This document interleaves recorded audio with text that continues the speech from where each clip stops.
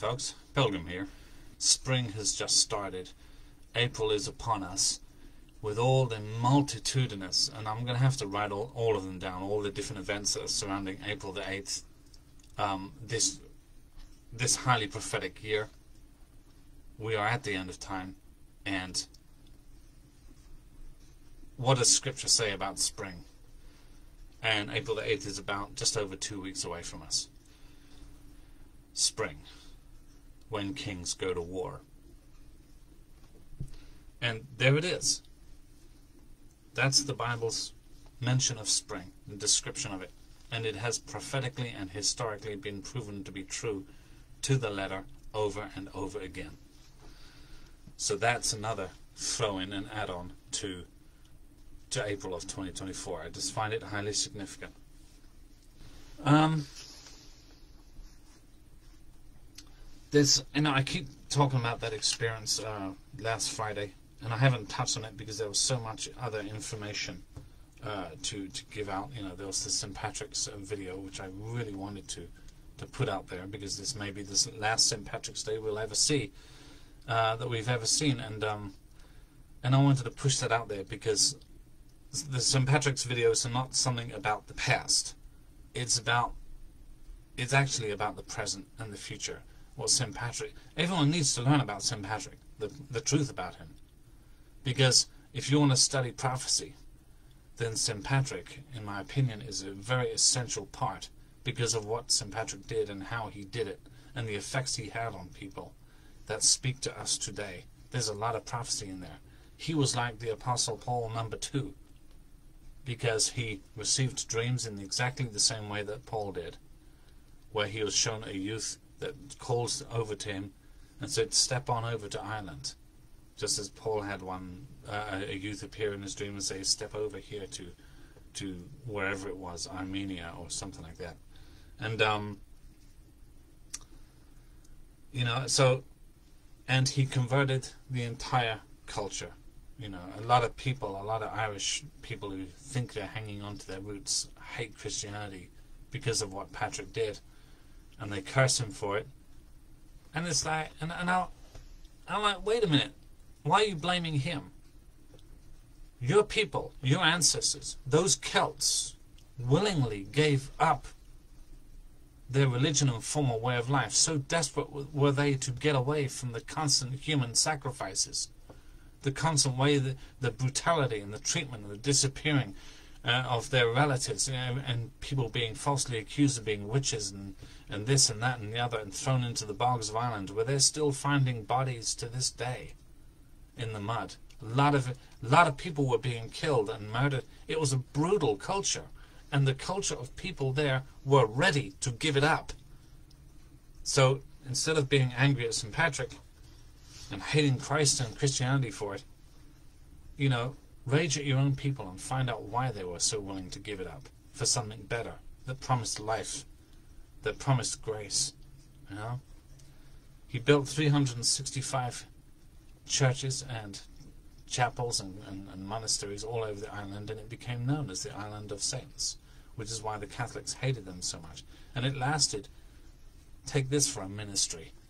Tell me whose ministry compares with this.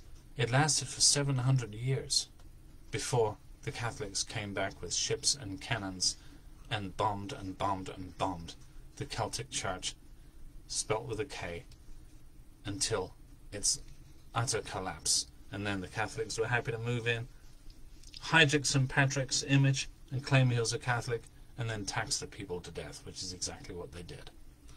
But anyway, there's a lot of prophetic parallels in what Ireland, what was done to Ireland.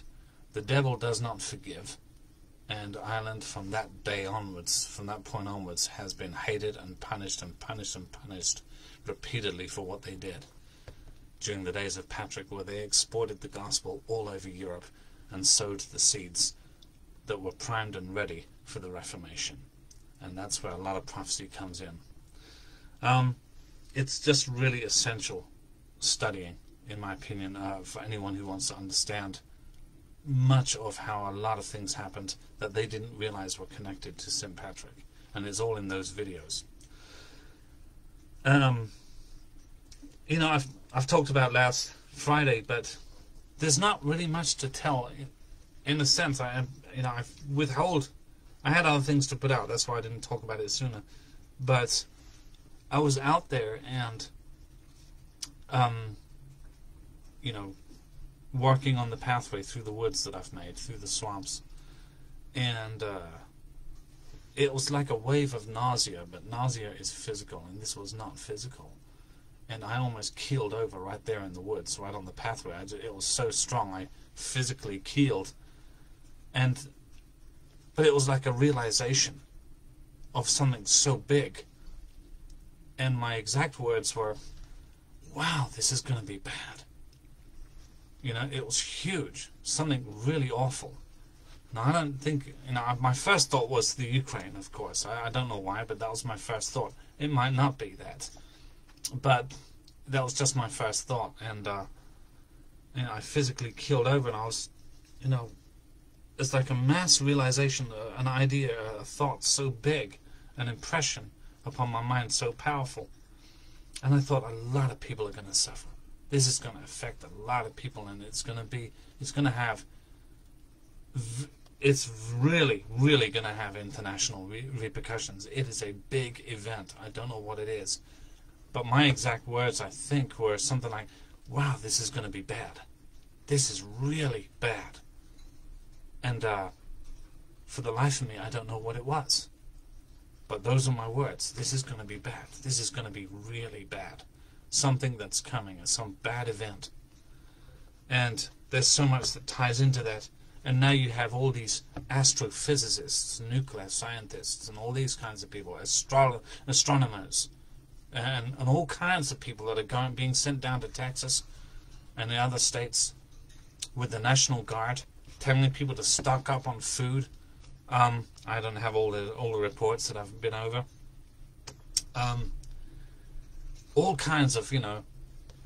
Make sure you have these things in your house. What's that got to do with the crowds and tourism for an eclipse? These are nuclear instructions in case of an attack. You know, as you said, Marcia, there's reports about Germany preparing for war, but that's because that's because Germany just threatened Russia. Just threatened Russia. I mean, what do you? I never credited the German government with much intelligence, but anyway, there you go. You hear that? We've had a lot of military crafts flying over over here, over these regions a lot during the last couple of weeks. But um, whatever's about to kick off, there is something coming, and it's going to kick off. And the authorities are telling the American people along this pathway to stock up on food for two weeks, get ready, and hunker down. Why would you tell people that for to you know what connection does that have with a bunch of crowds and eclipses? And as global rapture watchers, uh, spoke about in one of his latest videos. He said, while the crowds were distracted with um, with all this stuff about the eclipse, they passed a bunch of laws. You know. Yeah, there's uh, yeah air activity. There's been trains of, of tanks, weapons, and armory being trained, uh, you know, rail tracked all over the country. Uh, very strange military movements. All of this stuff going on and they pa- and while the public was distracted, they passed a bunch of laws that would never they would never have been able to get through otherwise. And they always do this. It's like Rahm Emanuel said, never waste a good opportunity. Uh, remember him? You know? So, uh, you know, it's like that. Um, they're getting ready for something, and but it was something big, and it's bad. But you remember that 72 point list that they released a few years ago of of domestic let's call them theorists domestic theorists and um,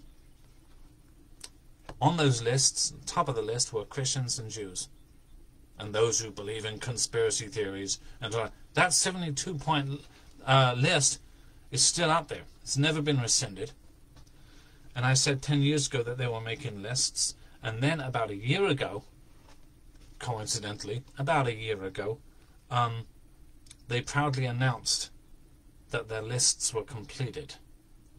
whatever that means. Not a lot of information on that little headline, but I remember taking note of it. You know, that the alphabet agencies were saying their lists are now completed. And then a year later, our country is being overrun, it's being invaded. Don't forget how, in prophetic parallels, how the city of Babylon was destroyed. First, it was by invasion, then, it was by internal war, and then it was utter destruction. Okay, three stages. These three stages match exactly what Revelation 17 and 18 describe. Okay? But when it comes to her fall, it says she will fall in a day, which is the poetic justice, prophetic parallel to the creation of Israel in a day. Uh, in he who blesses you, I will bless. He who curses you, I will curse. And the United States has cursed Israel. And even now, right at this very exact second, they're cursing her even more. They predicted through their attempted maneuvering of events that Israel would cease to be a nation, that she would be dead as a nation by the year 2022. They made that prediction in around 2013, 2014. That prophecy failed because it didn't come from God. But the fact that they spoke death over Israel is where they sealed that last nail in the coffin.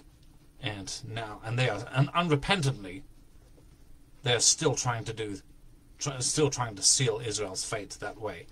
And unlike the city of Nineveh, who repented at first, you know, and then they, the second time around, they didn't repent and they were destroyed. And this eclipse passes over seven Ninevehs, eight if you want to include the one in Nova Scotia. So, an eight being a number associated with the Messiah himself, you know. Um, that's a whole other video. But anyway, it's just everything, every small detail, every kind. There is no insignificant. There are no insignificant details in all of this that's playing out concerning April the eighth. It's bizarre. So they got their lists ready while the country's being invaded. They don't care about counting the foreigners that are coming in. They care about replacing the established people so that they can continue out their purpose to see the destruction of Babylon. And that's pretty much in a nutshell right there. It's really, really interesting. And that's why I, I said the other day that I want that on April the eighth, should we be here, I want to read First Samuel, chapter one, verse one. Spring, when kings go to war. It didn't happen on the day that spring began this year, but it's right there. We're at the very beginning, you know. I remember Watchwoman 65. She had a vision of a baby being born, but only its head came out. And, and she applied different interpretations to that, and, and I saw things differently. I, I saw an event coming, the beginning, uh, the head of the events. She said the body didn't come out, but she took the head and put it on the counter, and, and this was a very significant event put on display for all the world to see. The world is not going to miss it, you know. But all these things come from God, whether bad or good, because He allows them to happen in order for prophecy to be fulfilled that His kingdom may come. Jesus said, Wars must take place, but be not afraid, because these things must happen in order for the kingdom to come. You know? Folks, God bless you. Know that the Lord is coming. Keep on looking up. It's not long now, no matter what we have to go through, no matter what may happen. But pray that you may be kept faithful until the end. You know, Jesus said, He who is faithful until the end is the one that will be saved. And I saw a really fascinating video the other day from um, Amir Tsarfati, and I think it was from him, and he was talking, that Israeli guy, and he was saying, he was giving an insight in, into the Jewish perspective on prophecy, and he was saying that when the Antichrist arises, it's the, you know, Joe Public will go along with everything he says because they you know, they want to hear good news, they want to hear peace, they want to hear, you know, they're gonna fall in line with everything he says, but it's the ultra orthodox, the real hard nosed folks right now, um, they are going to resist him to the death. And I would I would have thought it's the other way around. The ultra orthodox would be hailing him as the Messiah, you know, and then everyone else listens to them because they're doing it, and the whole country gets swept away under, you know, under the spell of the Antichrist. But he says, ah, uh-uh. he says it's the ultra orthodox that will be resisting him to the death, and the Antichrist knows it, and you know they will not listen to him no matter what, while the whole country gets swept up into it. Those who are really religious. He says, and it's and a very curious thing is happening in Israel right now, where even the uh, atheistics, uh, non-believing Israelis, um, as they get drafted and they go into, they, they get moved to fight for their country and so on, and they they're joining in with the prayers and the dances and things that the IDF do. So great is their hope for the revival, for the victory, uh, for Israel, and so on. And they know the whole world is against them, and they see this, and and they they don't go in with an intention to be religious, but they're getting swept up in what they see, knowing that the whole world is against them. They see something very unnatural is going on. And so they're starting to pray. They're starting to fall in with the dances. They're starting to listen to the prophecies. The hearts are being changed at a hundred miles an hour by the darkness surrounding Israel. This is the fulfillment of prophecy. At a hundred miles an hour, the king is coming. God bless you, folks. Pray for the peace of Jerusalem and all of Israel. Pray that you may be counted worthy to escape all these things. That's Jesus' commandment, not a request. Pray that you may be counted worthy and that he keeps you faithful unto the end. Because he who is faithful until the end is the one that will be saved. God bless, and perhaps we'll see each other soon. God bless.